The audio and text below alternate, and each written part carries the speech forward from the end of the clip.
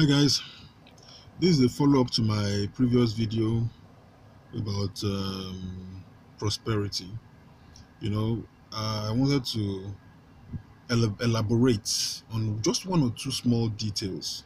You know, I'm trying to make it very clear to as many of us as are interested in listening and in knowing the truth. Okay? Because some of us say we are children of God or Christians or Godists or deists or whatever it is we choose to call ourselves these days. Everybody has some. eh, eh, I mean, what's the other word I hear? What's the thing I hear recently? Uh, uh, I've forgotten. All kinds of names people call themselves these days. It's just strange. But listen, if you're a child of God and not just a church goer, not just somebody who goes to church for the sake of going to church, you will care about knowing the truth. Because the Bible says you will know the truth and, and the truth will set you free. And the reason many children of God are not living successful lives is because they don't know the truth. Some of them even shun knowledge. The Bible even tells us specifically about people who reject knowledge when the opportunity is there for them. The Bible is there. If we actually studied it, we will learn. If we actually studied it for the purpose of knowing Him, Holy Spirit will be able to use it to teach us. And it will make life so much easier. But no, many of us want what the world wants. We want the easy way. We want somebody to preach exactly what we want to hear. The Bible talks about having itching ears. And many of our preachers, I'll be honest, I don't want to shoot down anyone, but too many of them, they are preaching prosperity. And that is the prosperity they don't understand. Basically, they're talking about money. And that's what they, and, and and that's just sad. So when you serve God and there is no money, do you now conclude that God failed you? Or that maybe it's because you don't know how to pray that you're not getting money? Because serving God is not about money at all. Let's look at this example of Jesus Christ. The devil, Satan, offered him all the kingdoms of the world.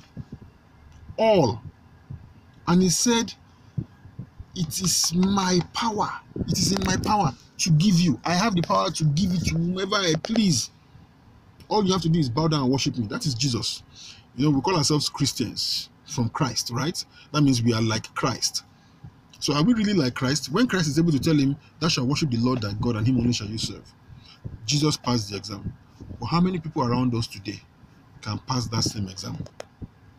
When they offer you all the world, practically all the money that there is, all the fame, all the power, will you pass the exam and, you know, choose to serve God, whether you have plenty or whether you have nothing, as opposed to,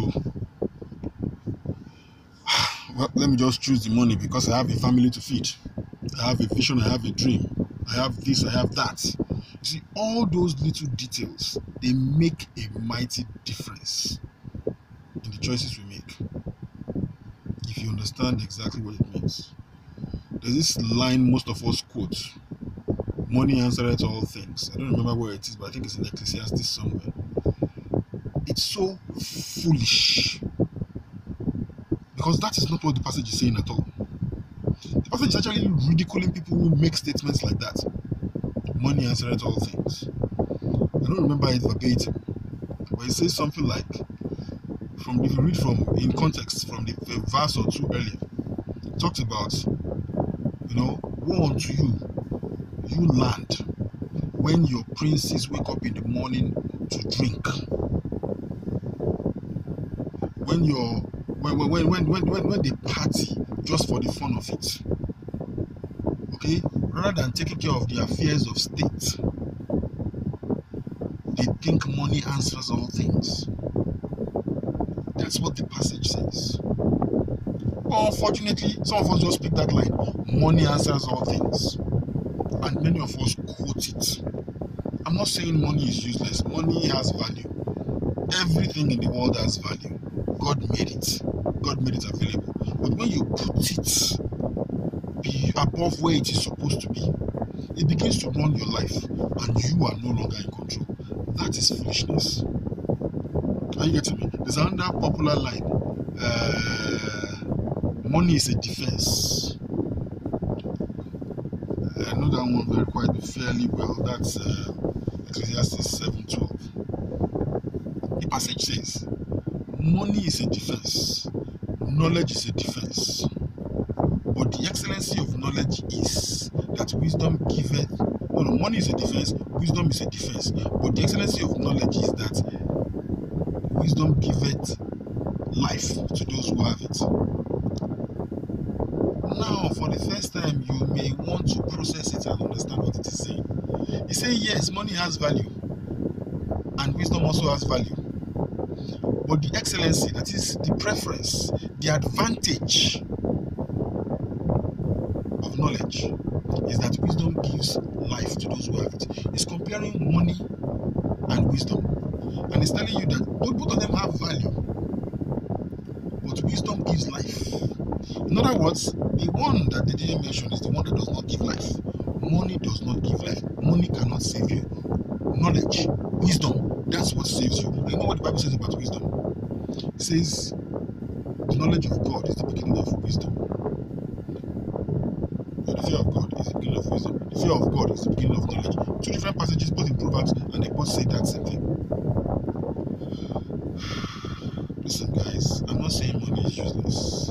I'm saying it's foolish to put money on a pedestal that God never put it. Of course, we know that the fear of money, the, the love of money is the root of all evil.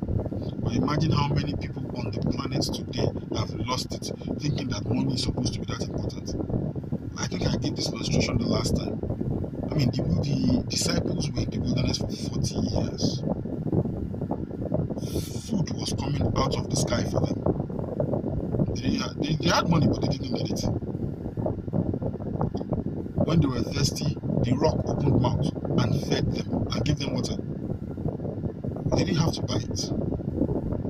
Everything they needed, God provided. So, do you seriously think there's anything God cannot provide?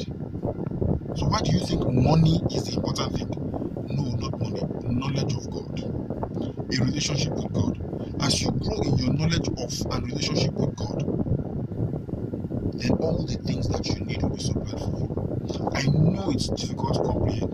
but I know many of us skip the faith part and go to the common sense part. Common sense is good, but it's one of those things too that you need to let, let to surrender to knowledge of God.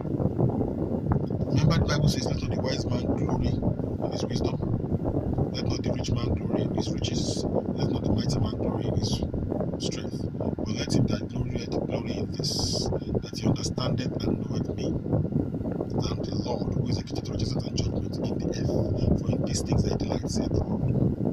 And that's the key, that's the bottom line of everything I'm saying here. Knowledge of God, wisdom, which is the fear of God. That is the principal thing. Okay? In all you're getting, get to understand, get wisdom. Money will come. It says, my my passage, my personal relationship with God, I base it on this. Seek ye first the kingdom of God and his righteousness, and all these things will be added unto you. Matthew 6 33.